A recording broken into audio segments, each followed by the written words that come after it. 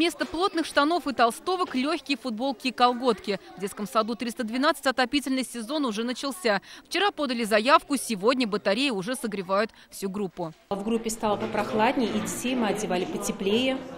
Но сейчас в группе температура комфортная, дети одеваются полегче. К новому отопительным сезоном были проведены техническое обслуживание э, оборудования котельной, гидроиспытание тепловых сетей, а также ремонт отдельных участков. Согреть каждый дом уже готовы казанские котельные. Здесь, к примеру, после капремонта вся система работает автоматически. От подготовки воды до ее подогрева. Пустить ее по батареям планируют 21 сентября.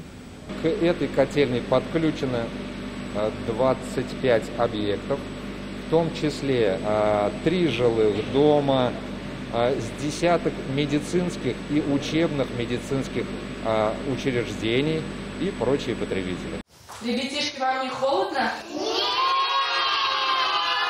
Подключили отопление в некоторых детских садах и школах Нижнекамска. Обеспечить теплом все соцобъекты обещают до 18 сентября.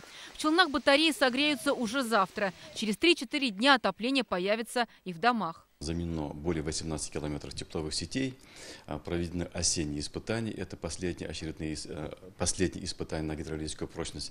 И надо сказать, что постоянно на сегодняшний день мы готовы к запуску тепла. Официально отопительный сезон стартует тогда, когда в течение пяти дней средняя температура не превышает 8 градусов. Однако сегодня уже в 9 районах республики тепло. В республике Татарстан отопительный период начался уже с 14 сентября.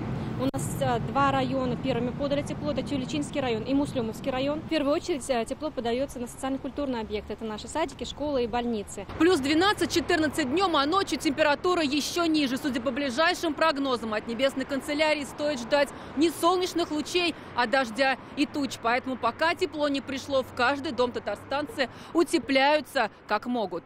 Обогреватель включаю. Только так, а больше никак. У нас есть вентилятор, конечно, мы им не пользуемся, потому что вечером, когда вся семья дома собирается, уже более-менее надышим кислороду, сразу тепло становится. Мы ничего не включаем так-то, в принципе, как бы одеваемся просто потеплее, пока еще терпимо. Полы промерзают полностью, стены промерзают. Как вы считаете, нужно уже тепло? Ну, хотелось бы. Если же в доме невыносимо холодно, то жители могут обратиться в управляющую компанию, чтобы тепло им дали раньше установленного срока. Зарина Ахметова, Ильшат Аюпов, Рамиль Закиев, Адель Ментубаев, ТНВ, Татарстан. Наша рука помощи вашему бизнесу. Антикризисные предложения. Телефон 843 5 705 100. Көтелмәгән кунак көттөреп кенә интернет челтәрләренә дә килеп җитте.